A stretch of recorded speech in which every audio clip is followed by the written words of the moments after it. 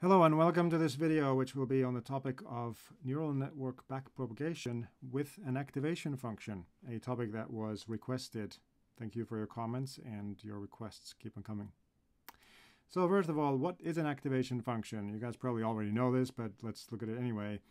An activation function is simply the function that we apply to the outputs of uh, a neural network. So we have the so-called input function, which is simply uh, the sum of the multiples of the weights and inputs. And you could say that that's the identity uh, output activation function. Uh, but uh, we can apply some other activation function on that output as well.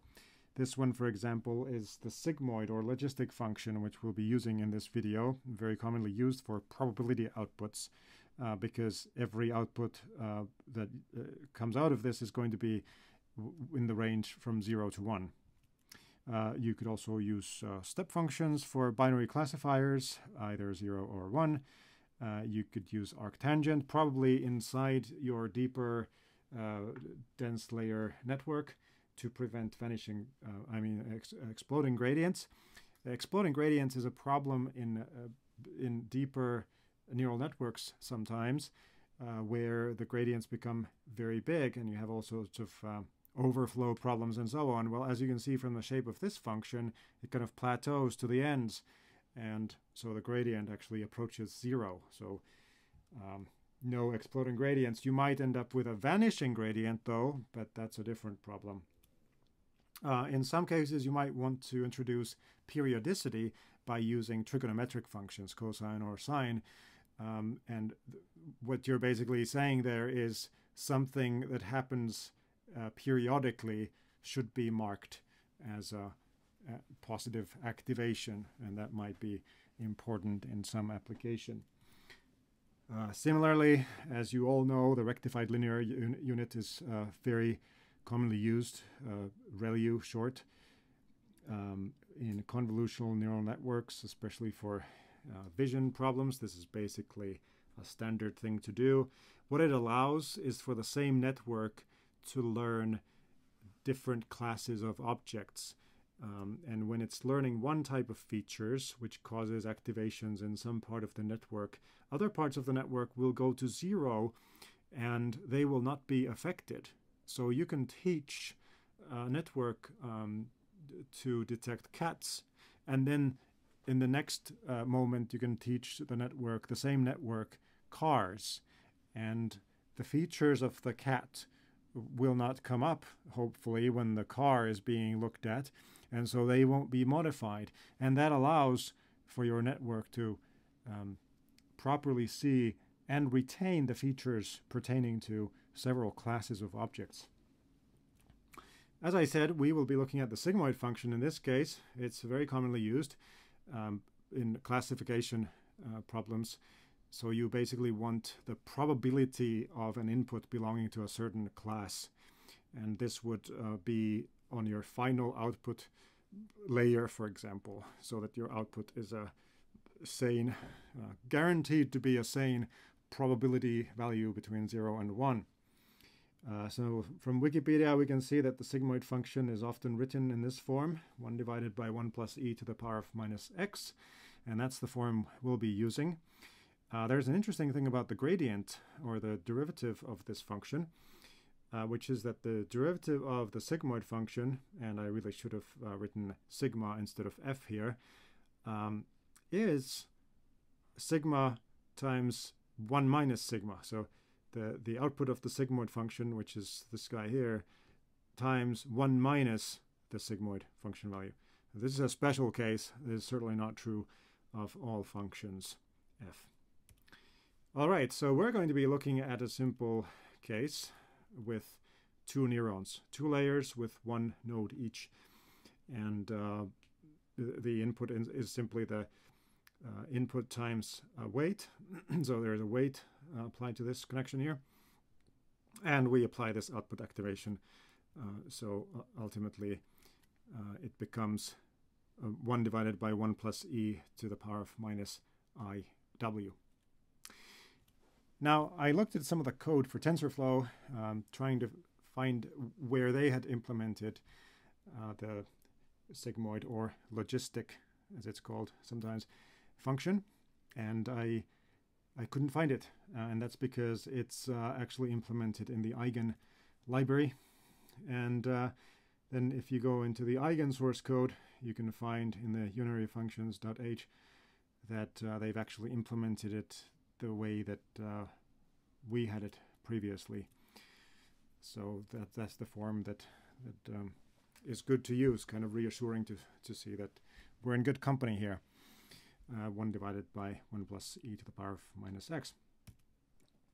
Similarly, the gradient, we can find out uh, there is a function called scalar sigmoid gradient operation, and the gradient is the same as we saw earlier. So this time I have the sigma correctly there. Uh, it is the output of the sigma function times 1 minus that sigma output again. And uh, in front of this expression, we can see there's the output gradient.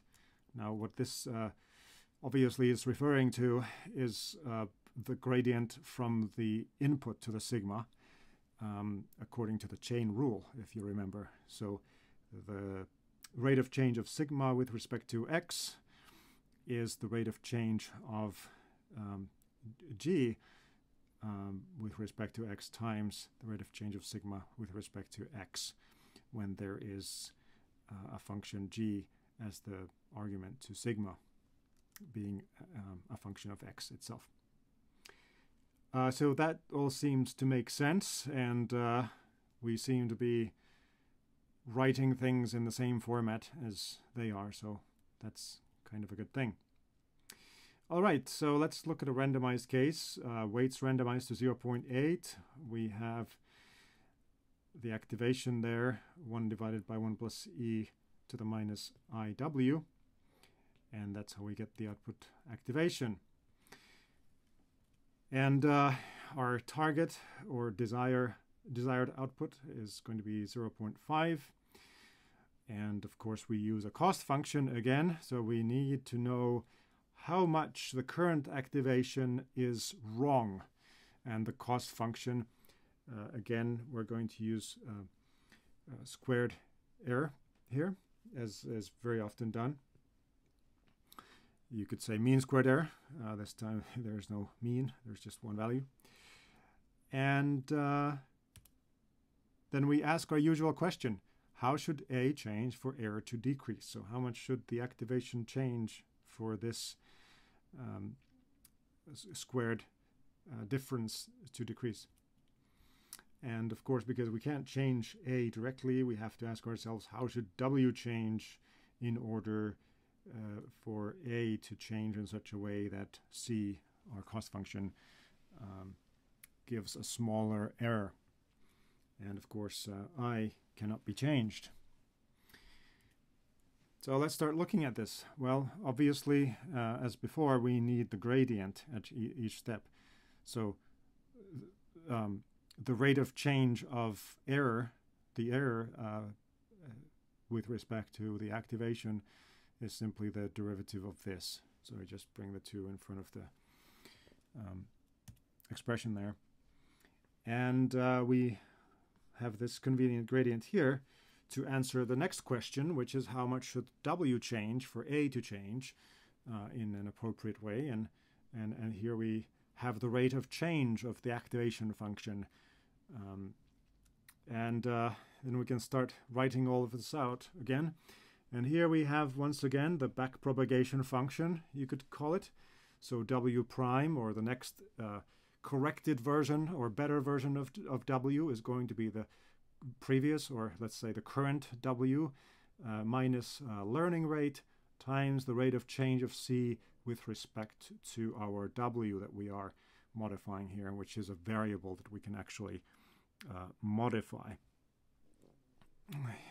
And uh, if you remember uh, from the previous video, R is set at some small value below 1. Uh, so 0.01 or something like that. You have to experiment a little bit, depends on the size of your network and so on. Uh, and again, we can substitute uh, for this expression, we can we can take, according to the chain rule, uh, these two derivatives and just stuff them in there, multiply them together, and we have the correct answer. Uh, substituting what we've already put in here, we get this, which turns into a surprisingly complicated looking expression. Um, and finally, when we, we put um, the actual sigmoid function, the activation function in there, it, it becomes even more complicated looking. And uh, I'll talk about that complication in just a little bit.